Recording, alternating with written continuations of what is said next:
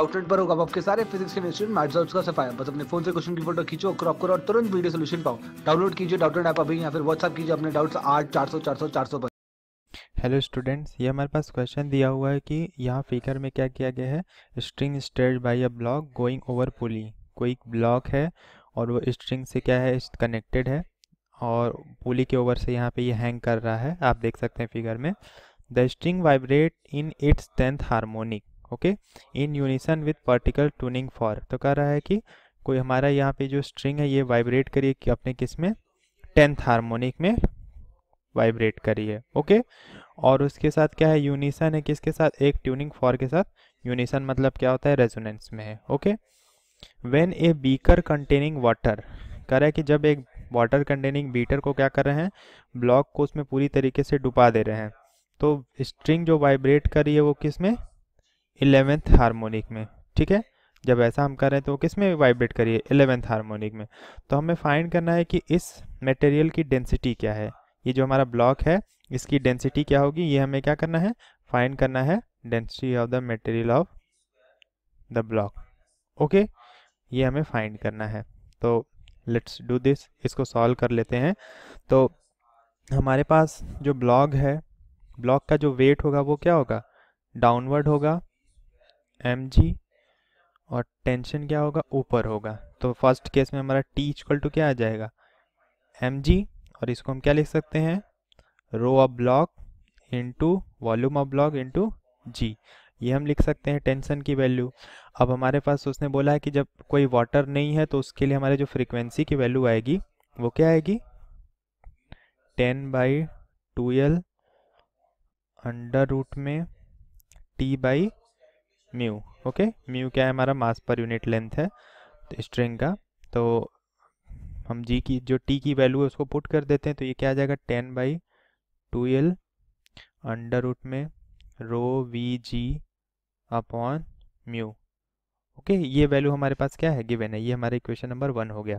अब जब उसको वाटर में डिप कर दे रहे हैं तो कंडीशन थोड़ी सी क्या हो जाएगी चेंज हो जाएगी ओके तो हम उसको भी फिगर से समझा लेते हैं तो यहाँ पे हमने क्या किया कि इसको ड्रॉ कर लिया, ठीक है? ये हमारा बीकर हो गया, इसमें पूरा क्या है? ये भरा हुआ है और अब हमारा ब्लॉक क्या है? समथिंग इस तरीके से है।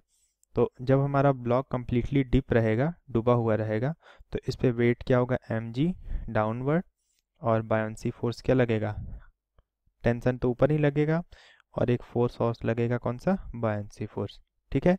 तो इसके लिए हमारा कंडीशन क्या हो जाएगा? अगर हम इसके लिए देखें तो टेंशन की जो वैल्यू होगी टी इक्वल्स टू क्या होगी?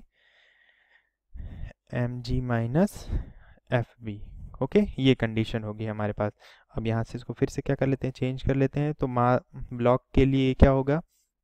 एम जी की वैल्यू सेम सेम होगी। रो वी जी और वाटर के लिए हमारा जो बॉयंसी फोर्स होगा, यहाँ पे क्या होगा? वाटर में डिप किया गया तो ये रो ऑफ़ वाटर वॉल्यूम तो सेम रहेगा क्योंकि डिप पूरा डिप किया गया है, ये। तो अगर यहाँ से कॉमा ले ले तो टी की वैल्यू क्या आ जाएगी? Rho minus rho W V g okay ये वैल्यू आ जाएगी हमारे पास, ठीक है? तो अब हम क्या करते हैं? आपने फिर से इसके लिए अगर, इसमें बोला है कि जब इसको डिप किया गया है तो जो फ्रीक्वेंसी मिल रही है वो क्या है? एलेवेंथ हारमोनिक है। तो ये क्या है? एफ़ की वैल्यू जो आएगी eleven by twelve under root में टी डैश इसको कर लेते हैं। ये हमारा टी डैश है T dash by mu okay तो हमारी जो वैल्यू आ जाएगी F eleven upon twelve under root में rho minus rho W V G upon mu ये हमारा हो गया इक्वेशन नंबर टू अब हमारे पास क्या हो गए? दो इक्वेशन हो गए। और उसने बोला है कि ये जो दोनों वैल्यूज़ हैं, ये आपस में क्या है? रेजोनेंस में है। फ्रीक्वेंसी क्या है? रेजोनेंस में है। ठीक है? तो हमारे पास ये दोनों वैल्यूज़ को हम क्या करते हैं? इक्वल कर लेते हैं। Okay from equation one and two okay ये जो हमें इक्वेशन गिवन है उनसे ये बोल रखा हुआ है कि यहाँ पे इनिशियल हमारा क्या था?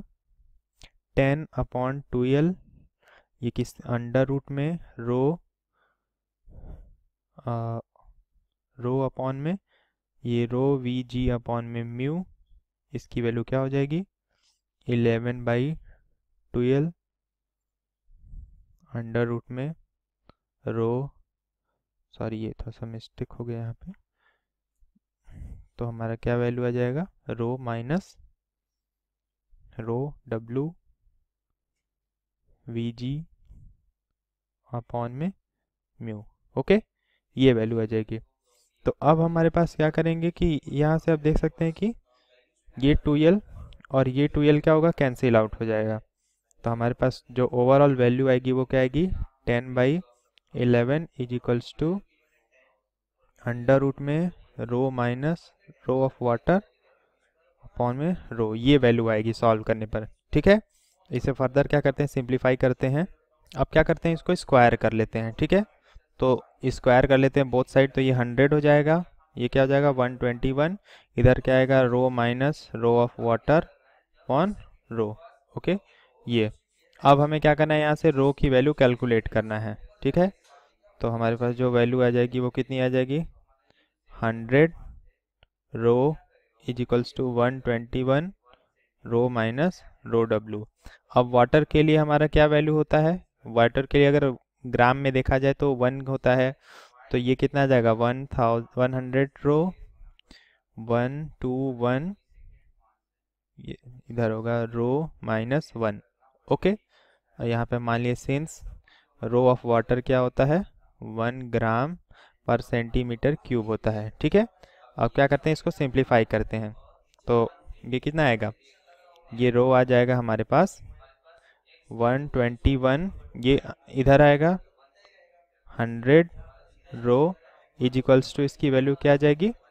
आ, इसको इस वैल्यू को उधर भेज देंगे। तो ये कितना आ जाएगा? 121 माइनस कर लेंगे तो कितना आ जाएगा? 21 रो इज़ इक्वल्स टू 121 और रो की वैल्यू क्या आ जाएगी? 121 twenty one by twenty one. इसको डिवाइड कर लेते हैं तो फाइनली हमारा जो मटेरियल ऑफ़ वुड है वो कितना आ जाएगा?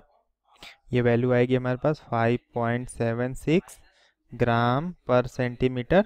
क्यूब ओके तो हमारा जो मटेरियल ऑफ़ वुड आ गया वो कितना आ गया? इसको हम ऐसे भी लिख सकते हैं rho equal to five point eight K G into ten to the power three okay ये वैल्यू आएगी into ten to the power three K G पर मीटर क्यूब ये आएगी क्या? हमारे मटेरियल जो है वुड दिया हुआ है, उसकी ये क्या आ गई? डेंसिटी आ गई ओके तो ये हमारा क्या है? फाइनल आंसर है।